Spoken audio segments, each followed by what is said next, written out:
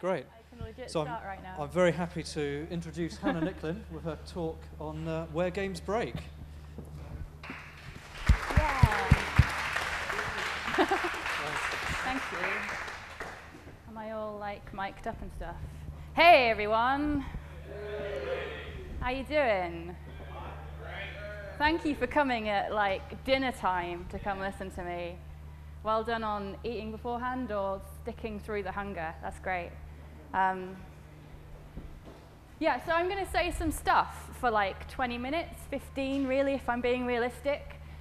So you can ask some questions afterwards if you have any, but it's not really a questiony thing. I, I specifically named this where games break rather than how games break, so you don't sit he- here expecting to get some kind of technical lecture from me, because you're not going to get one. Uh, I'm going to say some words. I'm going to say them off a piece of paper because I want to say the exact words I mean.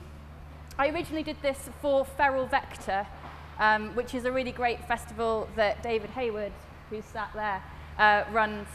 Uh, and my excuse that time was that I'd written it the night before. That was a month ago. I haven't learned them this time because learning lines takes time and I don't have any. Um, but I am going to read it, so if you'll forgive me, because I want to say the exact words that I have written. So this is a little bit poetic, if you can bear that. It's a little bit performative, but mostly it's me talking about some experiences I've had playing games, specifically where games break. Uh, and finally, I'd just like to thank David for encouraging me to write it, George for me calling him really late at night, going, I'm not sure what to write about, and also our friend Pat, who isn't here, who also did that. Um, so, is everyone okay? Thank you for being here with me.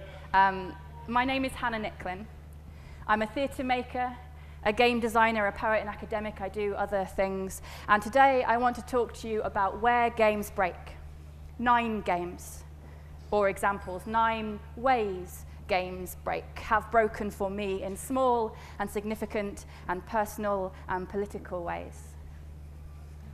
Games always break, eventually. Not because they are literally broken, but many are. No, because they are finite, like spells. They are little pockets of what if in a world of what is. They play with possibility and agency and system. I am interested in where games break. Not just for how games are literally broken, though many are, but because in the space between what is and what if, the infinitesimally big small space between these two things, there is transformation. That's the bit that is art. That's the bit that is politics. That is the bit that is a new thinking, heart shifting, personal thing. A little bit like becoming aware of the fact that you're breathing or that you're blinking. You know, we spend six seconds of every minute blinking. I found that out when I was cycling.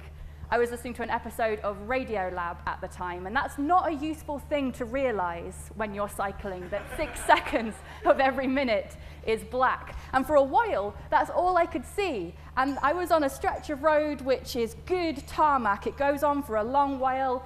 It's, uh, you go, you're slightly downhill, not so you'd notice it, but you can pick up 50, 60 kilometers an hour. And I'm seeing mostly black. It wears off in a bit.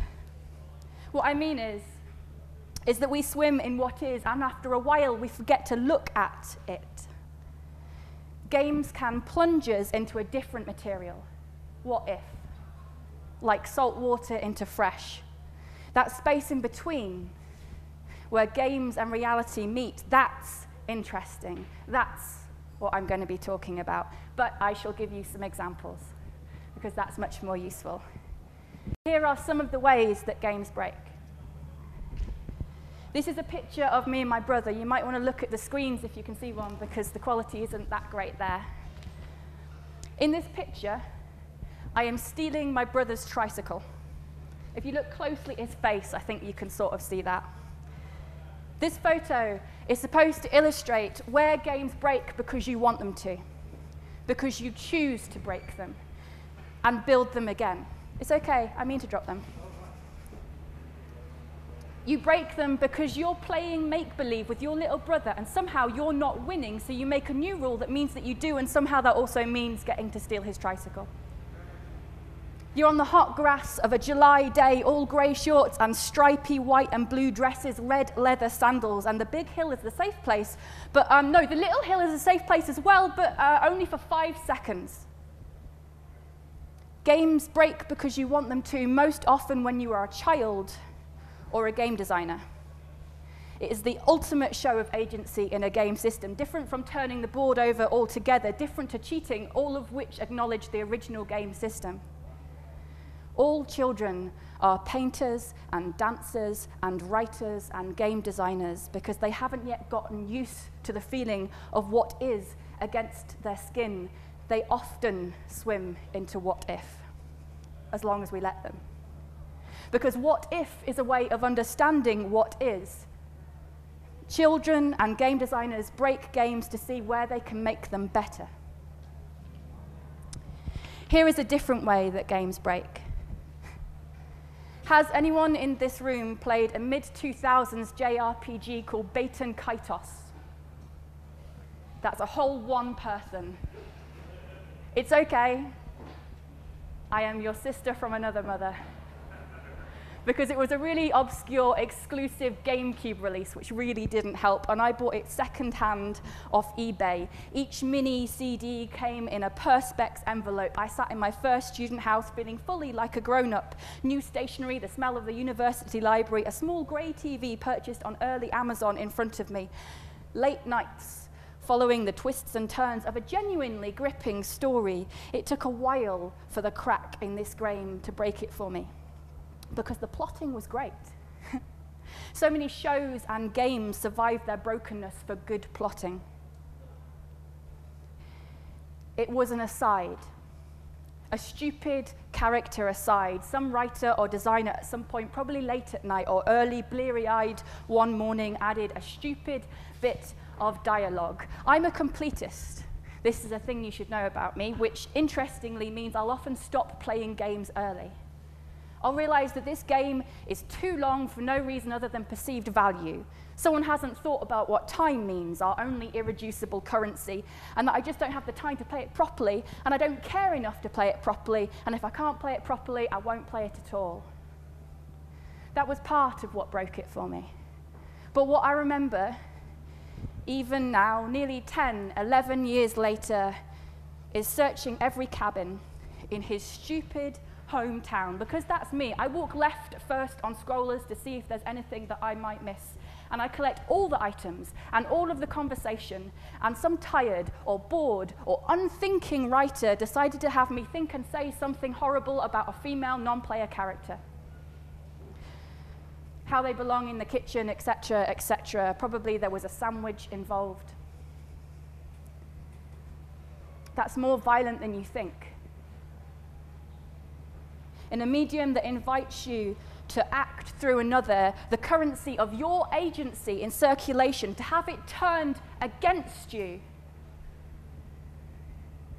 You are thrown hard against what is. This is not your what if.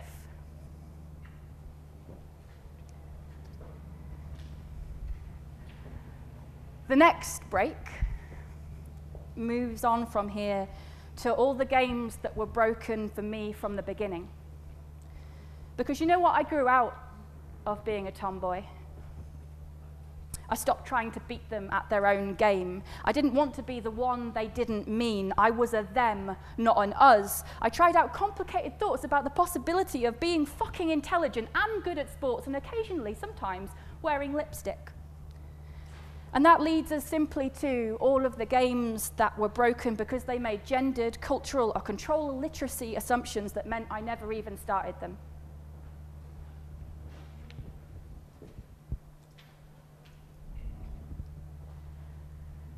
This game broke where it was supposed to. This game broke because I am racist or at least because I grew up in a very big, very quiet, very hard to leave county, which is 98.5% right according, white according to recent census. You can look that up on Wikipedia. Hinterland was a collaboration between game design studio Hide and Seek, for whom I worked for a while, but not when I did this, and Ross Sutherland, who is a game designer and a poet. Hinterland was a poem you played across a city, the city of Edinburgh. You created a little avatar in an installation in a cafe called Forest Fringe. Well, the Forest Fringe was held at the Forest Cafe. And you played through several levels, or canto, Canto is a posh word I'm not even sure I'm pronouncing correctly, which means a long verse in a poem. Each canto was a little booklet, and that booklet is a level that can only be completed with the help of a stranger. A translator, in fact, because half of the booklet is in a different language. Hinterland plays with the people of a city much more genuinely than a lot of pervasive games which I have played that make others the background to that play, because it breaks the barrier between person who is okay with the idea of playing and general person who doesn't even know what a pervasive game is. Together, you and your consenting until now stranger answer the questions in the canto into the receiver of a mobile phone. You both later receive a call with a verse of a poem that you made together. Your little figure back at the Forest Cafe moves on a level, and you return to collect your next canto. This game broke in a way that was deeply political. Canto 5, the final level, required me to find someone who was Korean. There were ways to solve this. I could have gone to a Korean restaurant, maybe that I looked up on Google, but somehow that felt like cheating. I stopped playing then because I knew that I would not know the difference on the street between a Chinese person, a Japanese person, someone Korean. It broke where it was supposed to. It broke in a way that was reflective.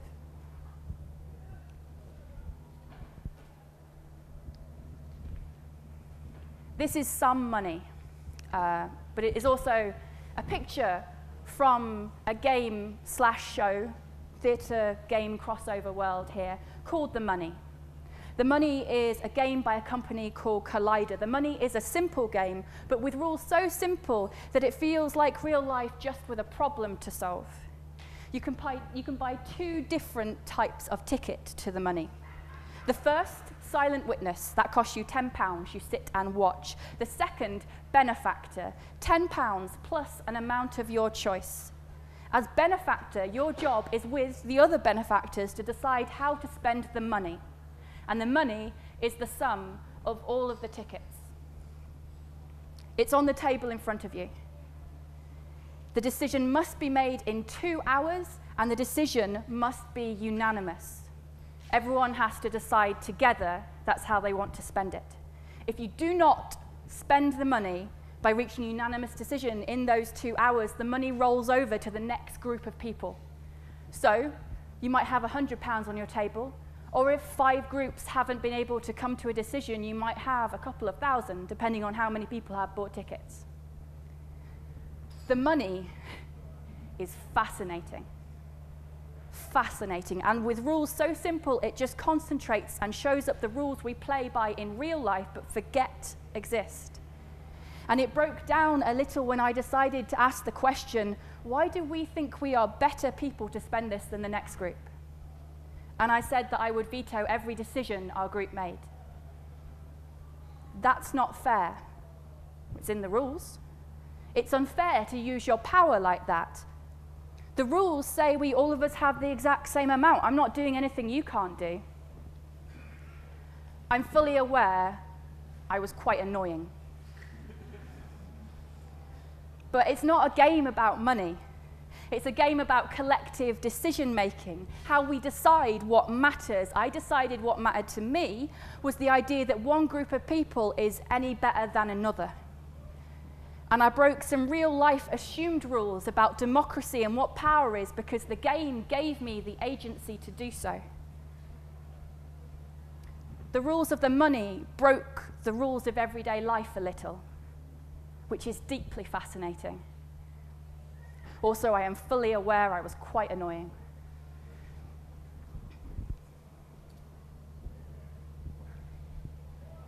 Uh, this is a game I don't play anymore. This is about the games that we play idly. Usually these games are safer, like counting magpies or stones in plum pudding, but they are all games about humans in an infinite universe like to think that they have control. This game is called Go On, click your ex's profile on Instagram. I mean, that's my profile. I don't want to look at his. This game is called Test How Much It Doesn't Hurt Anymore. This game goes well until you see a picture of him with another girl. This game is like playing chicken with your heart. It broke a little.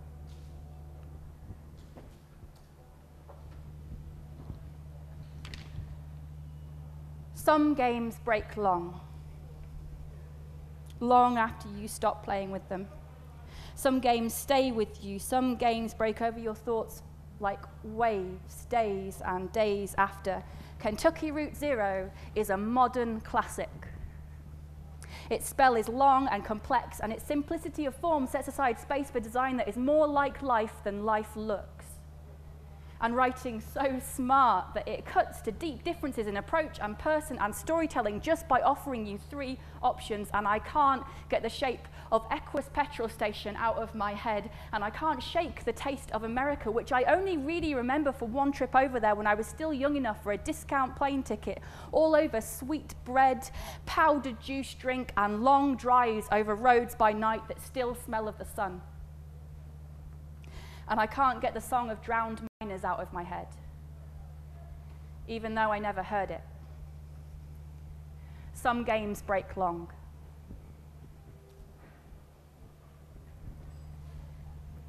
Triathlon is a game that I play with myself. It's a game that happens between my head and my body for six hours or 12, with the rules stipulating that you're not allowed to wear headphones, just you all of you, right now, every moment for a long time. Swimming, cycling, then running.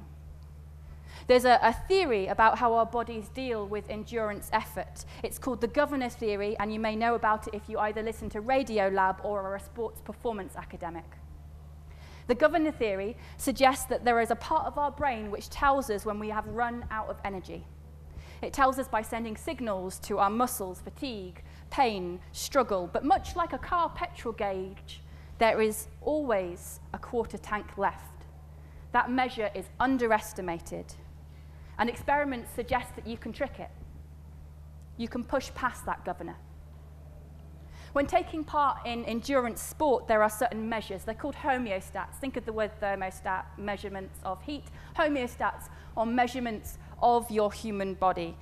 You could also call them breaking points energy supply from glucose or glycogen, blood oxygenation, plasma osmolality, which is a posh word for how much salt is in your body, and there's also centrally acting performance modifiers in your psychology, so things such as motivation, self-belief, the presence of competitors, that one always gets me. I knock tens of minutes off my time sleep, sleep deprivation levels, general emotional state, all of which govern how long our bodies feel we can continue. And even if you mess up that, there is always something left.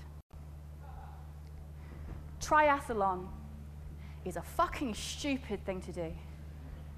I fully admit that. But it's also great.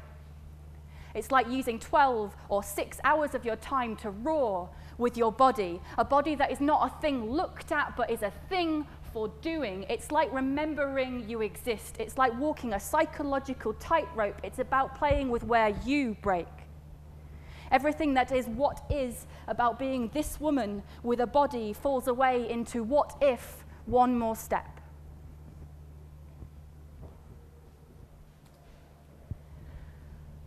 Early days of a better nation is my final example. This, by the by, is engraved on the side of the Scottish Parliament. I can't remember the full quote, but it's something like, live your days or work your days as if you lived in the early days of a better nation. This, however, is a playable revolution from the good folk at the Agency of Coney. It's been through several iterations and it's still being worked on. I played an early iteration at BAC in London. You were thrust into the early days following a revolution, and our job, all 100 of us, was to form a new government and decide how we would govern. This game broke perfectly, profoundly and personally, just as I won. This game told me what I already knew, that I play seriously. This game taught me what I thought I knew, that I am good at getting people to listen to me, to follow me. And this game taught me what I didn't know that I will sometimes choose compromise and pragmatism over what I believe is technically better, but so hard as to be almost impossible. That I listen to the central governor of my ethical and moral system. And that I will accept a coalition government if it means that I get to be leader. This game crowned me president. This game made me David Cameron. Games can break because you think you can do better. Games can break in ways that spit on who you are. Games can be too broken to pick up, or they can break where you are broken. They can break in ways that ask, What are our other options? They can break your heart. They can break over you like waves. They can break real and hard, and they can break open how you might affect and hurt others. Games always break, eventually not because they are literally broken, though many are, but because they are finite, like spells. They are a little pocket of what if in a world of what is. They play with possibility and agency and system. I am interested in where games break, not just for how games are broken, though many are, but because in the space between what is and what if, the infinitesimally big, small space between these two things, there is transformation. That is the bit that is art, that's the bit that is politics, that's the bit is new thinking, heart shifting, a little like when you become aware of the fact that you are breathing or that you are blinking. What I mean is, is that we swim in what is, and after a while we forget to look at it. Games can plunge us into what if, like salt water into fresh, the taste of one still in our mouths and the experience of the other surrounding us. Where games break is the space between these two things. The space, in fact, where everything game happens. I am interested in where games break. Thank you for listening to me talk about them.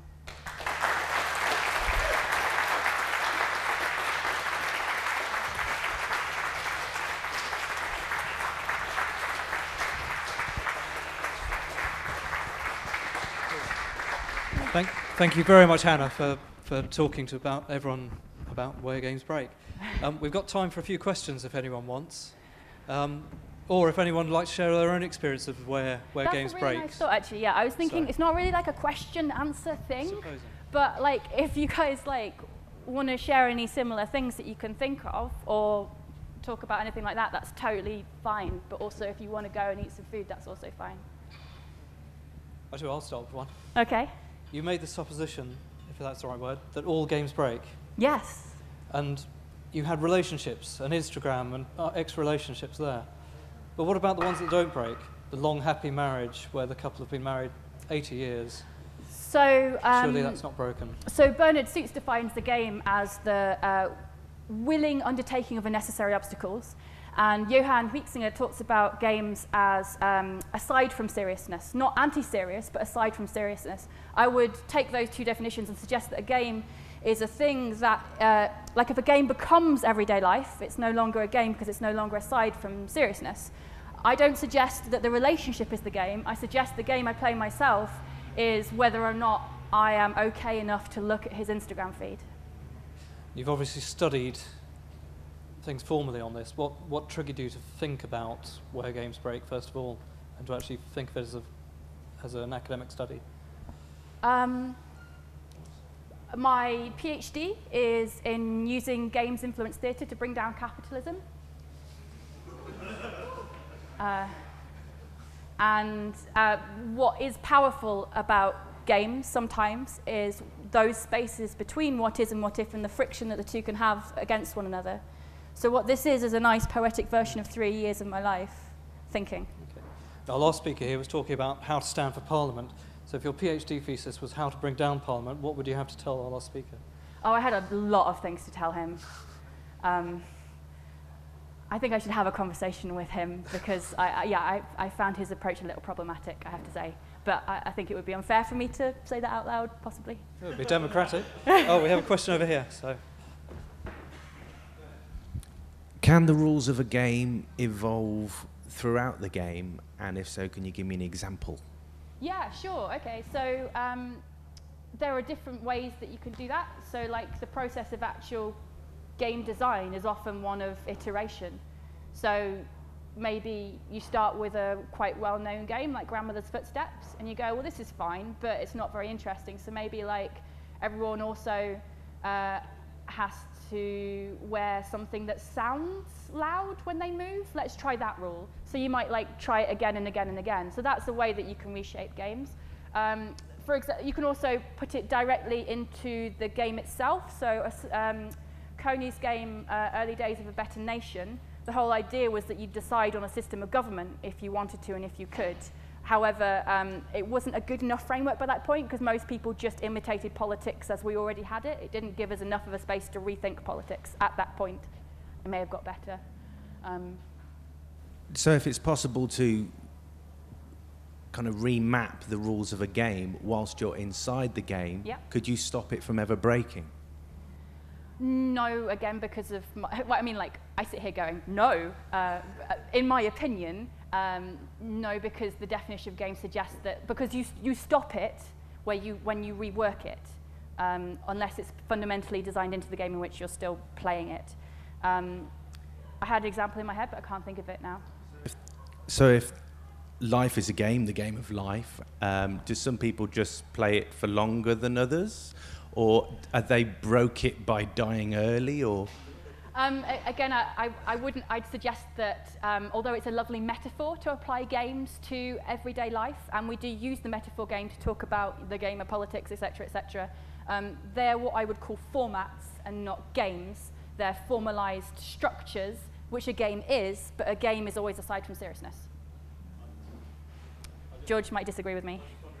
if uh, Grandmother's Footsteps was Nintendo or PlayStation, but uh, then I worked it out. Um, I was just going to did I respond to that? Like in the like when games break, or at least how I see it, like when a game breaks, it, it, that doesn't mean it's the end of a game. It, a game can continue on through breaking, and you can you can fix it, or you can just accept that it's broken, and uh, so it's yeah. So it's it's not. It doesn't mean that it's come to an end, or it, it can be an invitation to change the rules of it, or it can be an invitation to change the way you're approaching that game, or it can just be the, the point of the game. The point of the game is that it, it's not a complete framework, and you know that's an interesting thing as well. When it, when you're playing a game and it, it doesn't work, and therefore you have to step into the breach and fill in where the game isn't. Mm. Like if it was a perfect game, what what would be the point in playing it? Like it's already it already exists apart from you. What Right, exactly. Why do you why why do you need to play the game if it's if it if it's already perfect? Like Yeah, and, and arguably you could also suggest that the obstacles that you put in front of you are necessarily in order to play a game, in order to overcome them, are uh, against um, efficiency in some ways. So they are breaks in in flow. Uh, I'd, I'd liken that to some of that as well. Thank you, George. Would, would you say a lucid dream is a game? And is that a broken game? I mean, I'm not arbiter. um, yeah. I would love to be arbiter on a lot of things. Um, a lucid dream is a, is a game. Uh, no, no. oh, we've got two more questions. Yeah, so.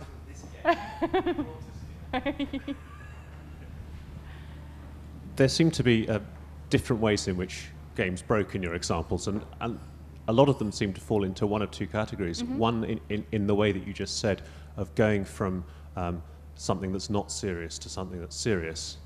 And, and another um, reminded me of James Carse's uh, distinction between finite and infinite games. And it mm-hmm. seemed to be where all the games that you were talking about were finite. Yes. Um, and also, you seem to be claiming that games are inherently finite. I, won- I, w- I wondered if you like to then, you seem to be disagreeing with Carse that there's a possibility of infinite games. Um, I haven't read Carson. Was that James Carse, Finite and Infinite Games. okay? I haven't read that. Um, but I, I think humans are finite creature, creatures in an infinite universe, which is like a big philosophical uh, thing for throwing up. So I would argue that things that we consciously do are always finite, but we exist in an infinite context. I'd love to. Uh, you should let me know the name of that uh, writer, though. I'd love to read. Thank you. Hey. Hi, You have a um, good beard. Thank you. On the subject of um, infinity and finiteness, is sort of doing the same thing in an infinite number of times a failure mode. I mean, I've seen a screenshot where someone's put 2,000 hours into Skyrim, and that seems to me broken in a whole new way. Great. Was that? A s- I didn't hear the end of it. Was it a thought or a question? And that, that seems to be a failure mode, a, a, a breakage where someone's played the same game for 2,000 hours in the save game. Yeah. I suppose that, uh, it, it probably doesn't matter if you enjoy it, right? Right.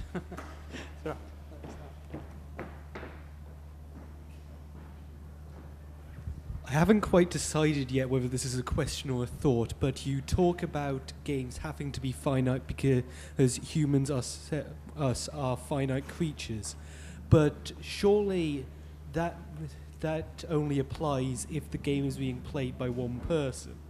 For example, if I take an MMO, that is played by hundreds of people across the world. So even if one person drops out, the game will continue going. So you could theoretically have that for the entire span of the human race. It won't happen, but it could. So can games stop breaking provided that you have enough people coming in so it could feasibly be an infinite? It depends how you look at a game, whether it's the thing uh, which is the human experience or if it's the, the artifact that is played. And I would suggest that the two together is the thing. So the game breaks the second that person walks away from it and has to possibly eat some food so that they survive another day. Ah, but you could think of it as a shared experience. You could, certainly. so that everyone's having the same experience, and provided there are still people there to have that experience, the experience still remains and the game remains unbroken. Would it make you feel better if I said games are breakable? I suppose. Then I think we should uh, go with that. Thank you very much for your thought. I appreciate it. Great. Uh, we have one more. Um, I had an interesting thought, and I, I thought I would uh, ask. Uh, what you, you were saying that games are apart from seriousness, which is an interesting idea when there are people who play games professionally Oh, yeah. And, yeah, people so who I love this question. who farm for money in games and sell it to other people and Yes, people who play poker professionally and also games which are serious and have serious implications and make you think serious thoughts. Where's that distinction? Pete Singer never says that games aren't serious. Um, and because the whole bit is sort of talking about the critic. It was written in the 50s or something, and it was the critique of games at the time uh, was that they are fun things, or they are playful things, or they are childish things. But actually, some games are played incredibly seriously. I know that. I am a serious player. The amount of time I spend making some character look exactly like me, much more than I ever play one of those games, I have to say. Um, so seriousness is not the same um, as anti-fun. That's what he was trying to get across. Um, so uh, aside from seriousness doesn't preclude it from being serious. It's just aside from the seriousness that we uh, attribute to adulthood and being grown up. That, that's okay. Do, do you work in the games industry now? Uh, a little bit. Uh, what, what, what do you do? Um, Jen, I've done some game writing, um, like dialogue and that scripting, that kind of thing. And then I also do a little bit of uh, making up how they happen. I just did a game with George called Glitch Pigeon, which if you if you go to um, it's just at Hannah Nicklin on Twitter. We just actually released it in the tent earlier today, so you can play it. It's silly and it doesn't work properly. Mine, Hey. was, mine wasn't a question, mine was a personal breakage. Um, Okay. Which was, well, um, I don't know if you've played Braid, Yeah. uh, which is a sort of ti game where time travels with you and stuff. Um, but it was the point where I got stuck on the game. Um, and so I Googled um, for help or whatever. And you find the guy who wrote Braid gives you a, a walkthrough. And the walkthrough consists of starting, like, it looks like it's starting to go be a walkthrough. And then he tells you you shouldn't use walkthroughs and that you should keep playing the game and eventually you'll work out how to do it. Yeah. And that's the fun. And obviously, then I carried on and found a walkthrough. Um, and because otherwise I would have just given up and stopped playing that game entirely, whereas, whereas which was which would be no fun. Yeah. Whereas I was enjoying playing the game in my own terms, not his terms as the creator of the game, uh, which I thought was quite odd. yeah, Um, that's an interesting thing. I, I, I that game broke for me just because I couldn't stand the artwork.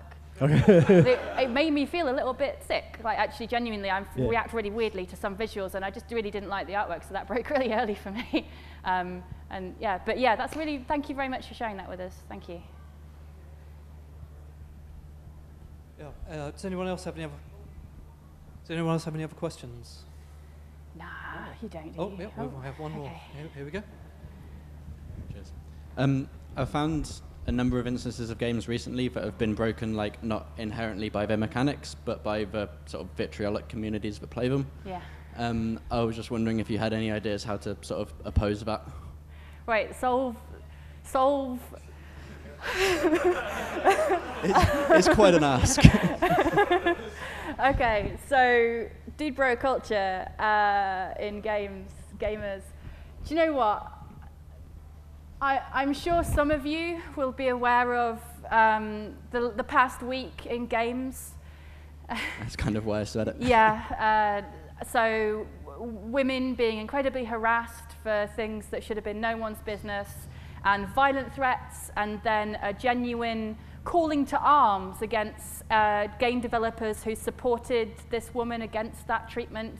That's been happening recently, and I spent half of this week feeling incredibly scared to talk in public about it in case this thing happened to me as well. And I spent the rest of the week feeling really fucking angry that I felt scared to talk about this in public as well.